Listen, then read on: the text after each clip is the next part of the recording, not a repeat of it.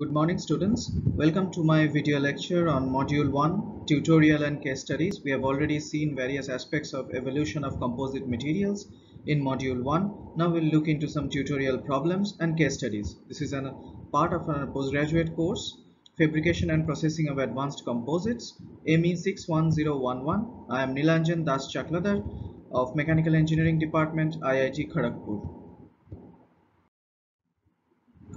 Now in this talk, we'll discuss two tutorial problems and two case studies. Tutorial 1. So what are stiffness, strength, modulus and stress? So these are some terminologies which we often confuse between their definitions. So let us look at look into this plot. So it is a force versus deflection or deformation. That means we are applying a deflection or we are applying a deformation and we are measuring the force. Okay? The reverse is also possible. Now in this case if we try to plot force against deflection or deformation what we get? We may get the orange line some sort of trend where it increases then there is a non-linearity then gradually it fails now the initial slope, which is also called the initial tangent modulus, if force was replaced by stress and deflection was replaced by strain, then this the same slope will be called as the initial tangent modulus. Now in this case, this is not modulus, this is the slope between the change of force with per unit change of deformation. That is del force by del deformation. We call it as S or the slope and here I have made an arrow. From this end it's actually the material fails. But this is a force deflection plot or force deformation plot. So we will not get the ultimate strength in this plot. What we may get is the force corresponding to the ultimate strength.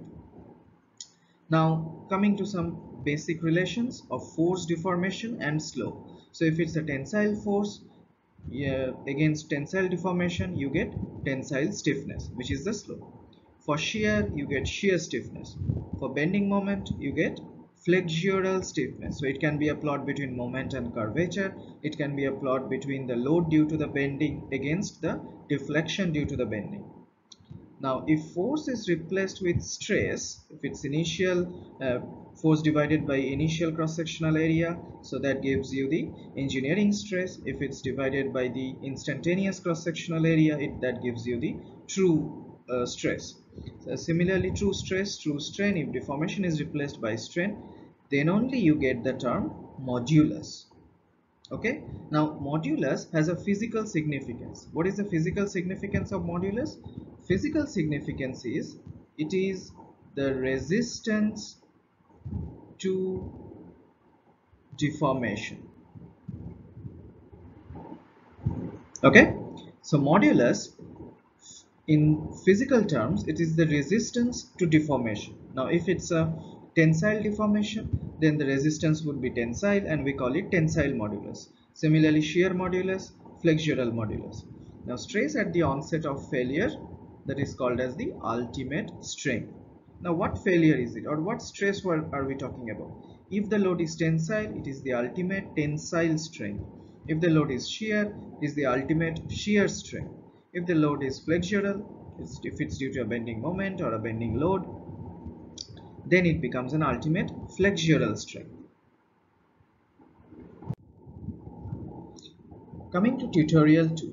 Now you see this structure so obviously I'm not expecting you to memorize the structure but just see some sort of symmetries there available in the structure this is a typical high impact polystyrene okay which is also abbreviated as HIP so this high impact polystyrene if these are the characteristics then can you guess its application? So what could be the application if the characteristics of such a polymer are high impact low cost easy paint and glue? So it's easy to paint and glue.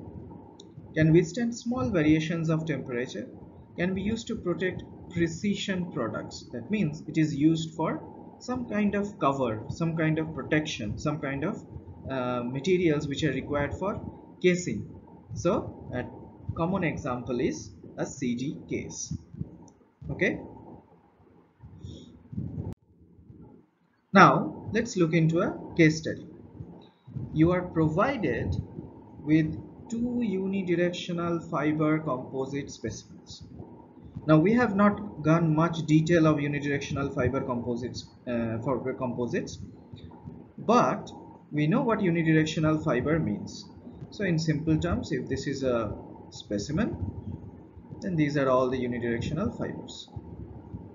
Okay, and these two specimens they have the same fiber volume fraction also we have not discussed much about fiber volume fraction but from the term we can say so it is a fraction which is expressed in terms of volume and the content of fiber in that volume is same that means if I am talking about this composite has a 60% fiber and 40% matrix it is the same for both the specimens then for specimen 1, all the fibers are intact and of same length.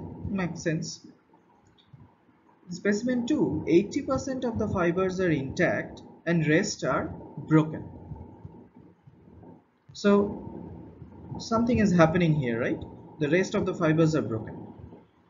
Now you have applied a load of 20 kilo in a cantilever posture for 10 minutes. So what is a cantilever posture? Similar, and simple we need we know so this is an F, if this is the specimen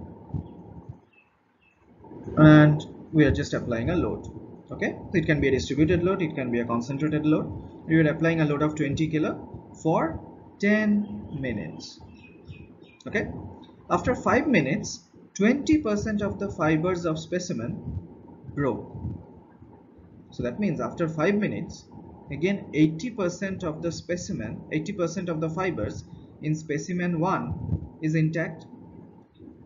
What will be the load distribution after 5 minutes of operation? Now, if you remember, we discussed in module 1 that even if the fibers are broken, the load is transferred or shared by the unfractured fibers. That means if we look into the time point after 5 minutes so we have 80% intact of specimen 2 and since 20% has already been broken the remaining 80% of specimen 1 is now intact that is after 5 minutes, in both the cases, the load will be shared by 80%. But it assumes that even in specimen 2, there are no fracture of fibers in the intact region. Now coming to case study 2. You had a toothache, you visited a dentist and the doctor recommends to go for a surgery. On the day of surgery, you realize that the doctor is not going to uproot your tooth but add something in its cavity. The assistant assured you not to worry as it is just a filling made of composite. A filling made of composite. You read about unidirectional composite and were startled. So uh, are they going to actually put some unidirectional composite on my tooth? So what do you think the assistant meant when he or she mentioned dental filling of composites? Now these dental filling of composites are made of not fibers but fillers. So fibers they are long fillers they are chopped fibers okay so these chopped fibers in very minute minute dimensions they are mixed with the dental resin. Okay? These dental resin when they are reinforced with these fillers they increase the strength of the cavity. Now if you have ever gone for a tooth filling after this filling is done you are asked not to chew anything you are asked not to uh, eat anything um, solid. You can drink water. Why?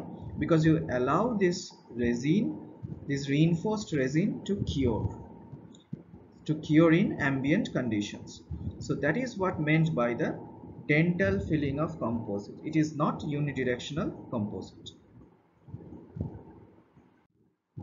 Thank you for watching my video hope you have enjoyed it. Please add my playlist video lectures of FPAC ME 61011 and subscribe to my channel. Do not forget to read the description below.